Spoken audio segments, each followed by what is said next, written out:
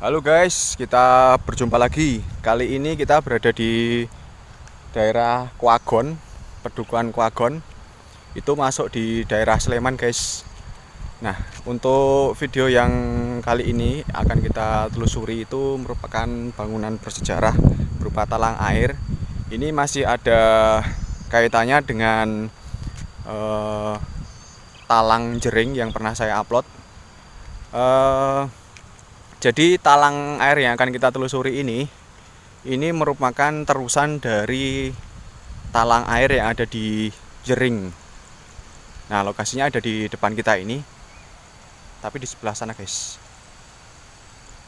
Nah ini merupakan jalannya talang airnya yang ada di sini. Nah ini. Jadi di peta Belanda tahun 1935 talang air ini sudah nampak. Ini sudah nampak.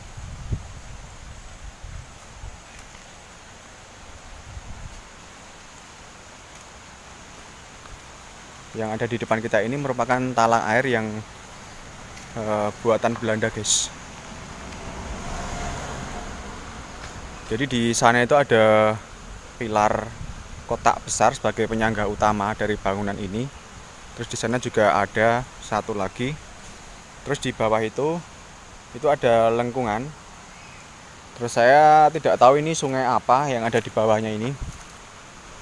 Jadi talang air ini itu berfungsi untuk mengalirkan air yang dari uh, selokan Vanderwyk kemudian menyabang masuk ke talang air jering terus kemudian masuk ke talang air Kuagon ini guys nah untuk dari sebelah selatan dari talang ini seperti ini bentuknya. Jadi ini masih nampak terawat karena di sana sudah ada apa? Sudah dicat. Jadi untuk ketinggian talang ini dari permukaan air sana itu kurang lebih ini ada sekitar 4 sampai 5 meter sampai ke talang tersebut. Terus kemudian seperti yang saya katakan tadi di sana ada pilar-pilar utama. Terus di situ ada satu lengkung seperti yang saya sebutkan tadi. Terus untuk bagian pilar itu pembuatannya menggunakan batu kali dan batu kapur yang sudah direkatkan dengan semen juga di plaster menggunakan semen guys. Nah di sana itu yang di sebelah sini itu ada pilar besar juga. Tuh di sana.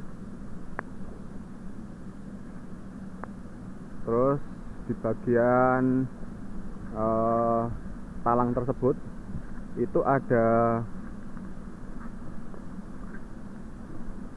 sudah diplaster menggunakan eh diplaster di klem menggunakan paku klem itu guys. Seperti yang di sini saya zoom. Nah ini. Itu menggunakan paku klem terus di bagian atas itu ada besi dua panjang itu yang biasa digunakan untuk uh, sebagai bahan dasar dari pembuatan jembatan kendaraan. Itu guys. Itu yang di sana itu kurang lebih untuk tinggi pilarnya itu yang terlihat itu ada sekitar 3 meteran. Di bawahnya seperti ini.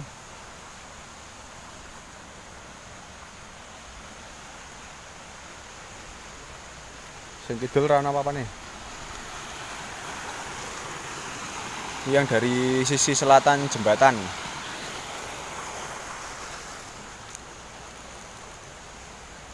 Kita coba untuk melihat lan ya ya. Di bagian atas guys. Kalau ke bagian bawah talang sepertinya tidak mungkin ini guys.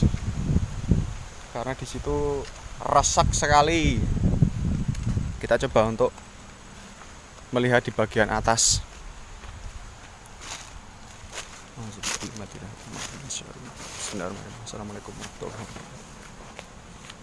Oh, ternyata ini pernah direnovasi di bagian sungainya ini.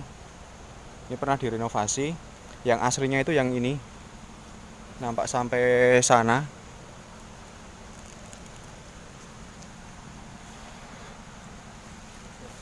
Untuk struktur bangunannya ini menggunakan batu bata seperti ini. Batu batanya ini sama dengan batu bata yang sekarang dibuat zaman saat ini guys. Terus di sini ada pelebaran. Ada pelebaran di daerah sini. Ini. Ada melebar gitu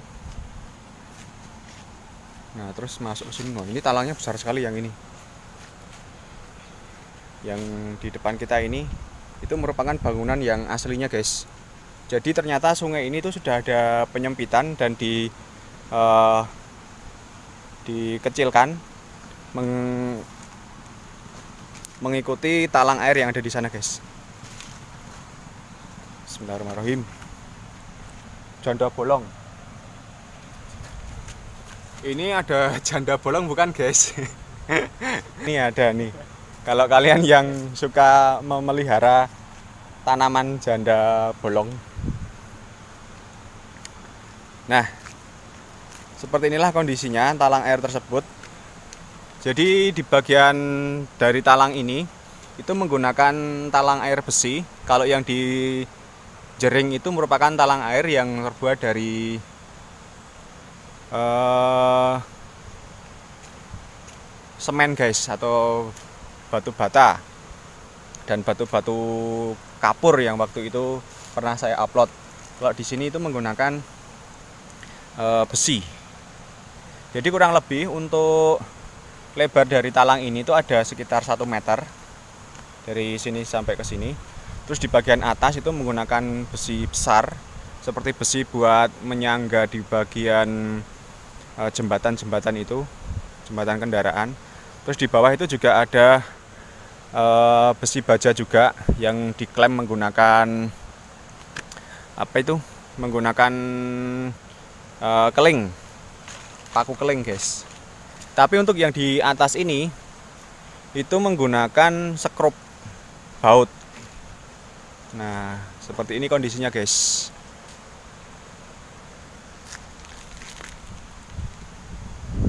jadi di sana itu dulunya ada yang di sini itu melebar melebar melebar. Terus sampai sini itu ada penyempitan uh, jalur air. Nah ini merupakan talang aslinya yang di sini. Ini yang di paritnya.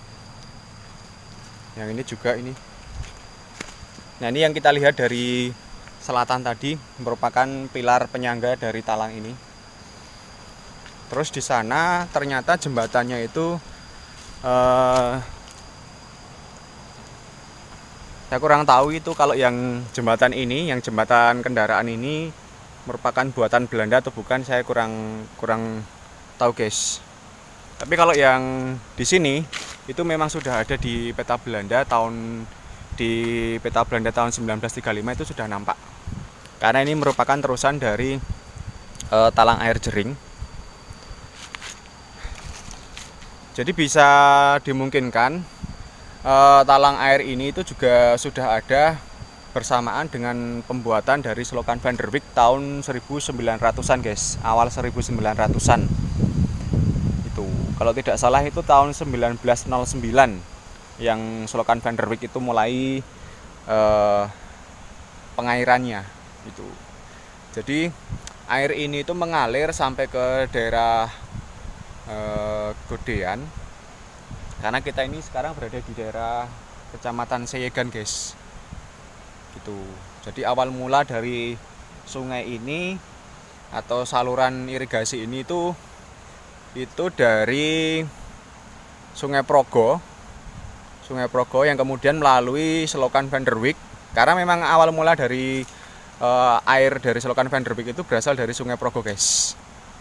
Nah yang ada di daerah Bligo itu merupakan uh, tapi bukan selokan Mataram ya guys. Selokan Mataram itu sudah baru atau lebih muda daripada selokan Van der Beek karena kalau selokan Van der Beek itu dibuat awal 1900-an kalau selokan Mataram itu tahun 44 waktu uh, pemerintahannya Sri Sultan Hamengkubuwono ke-9.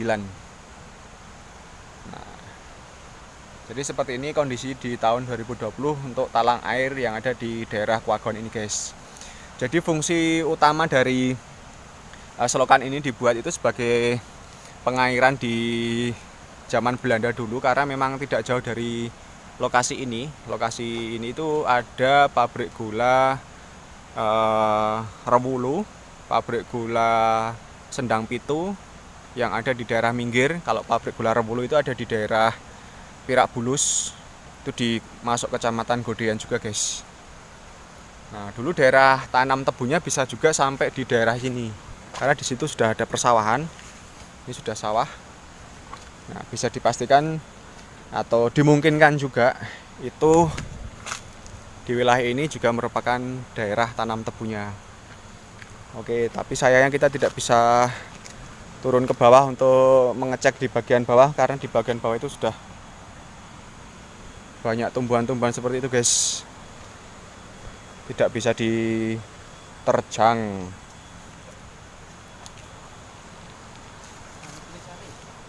Oh, iya. Rana jangan. Coba kita lihat di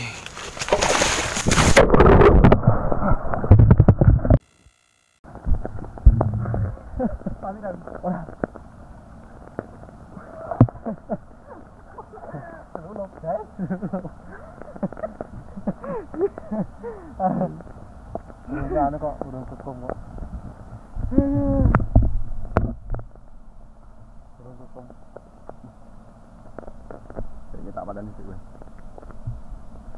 Oke guys, saya tercebur ini.